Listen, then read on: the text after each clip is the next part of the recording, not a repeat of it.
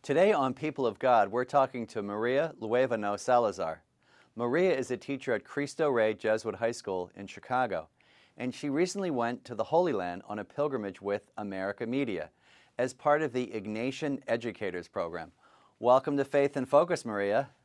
Thank you. Thank you so much. And welcome back from the Holy Land. Yes, thank you. Thank you. Can you tell us uh, your overall impressions of just what it was like to be where uh, Jesus walked and, and lived and preached and rose from the dead? Just from the beginning, I, I still remember when you said, close your eyes and listen to the sounds that Jesus listened to. And that just started everything at the right note. I really um, enjoyed the visit to Magdala that was very powerful to me. What made Magdala so important for you, and what makes Mary Magdalene an important figure for you? Um, so I think there's a lot of conversation of women in the church, um, and and that spoke to me throughout the whole pilgrimage, and to a lot of us women, I would say. Um, and we um, heard a, a, great homily um, a few days before, where um, Father Matt Malone said uh, Mary was the church for those 20 minutes. It is so that great insight that between the time that uh, the risen Christ appeared to her uh, on Easter Sunday and the time she announced the good news to the mm-hmm. disciples, she was the church, basically. A lot of people really respond to that, uh, to that insight uh, of Matt's. Picturing Jesus walking up and being there, and such an important female figure um, in our history, and, and a true calling for, for us, for women, to, to have that role in the church uh, was just powerful.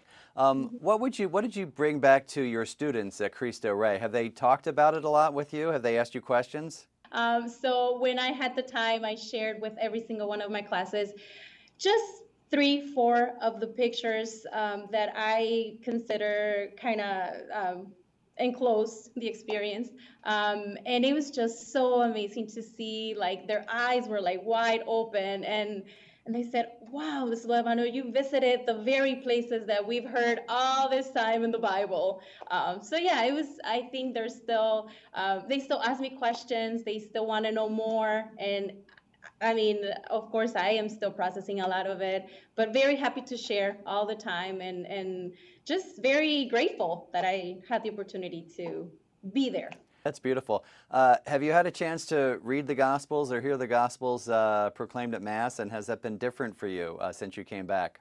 Yeah, um, listening to the scriptures, and they mentioned Galilee, and I said, "Oh my God, I was just there, impressed. Like I'm just over the moon." Well, I just want to thank you for sharing your experiences, but also want to thank you for being a great pilgrim uh, with us. The Ignatian Educators Program, through people's generosity, enables uh, people from Jesuit high schools and colleges to join us and you were such a treasured part of the trip. So thank you for being a great pilgrim, Maria. Thank you so much.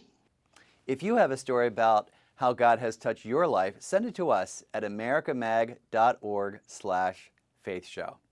Thank you for watching Faith in Focus. You can find more videos like this on our YouTube channel and subscribe so you never miss an episode.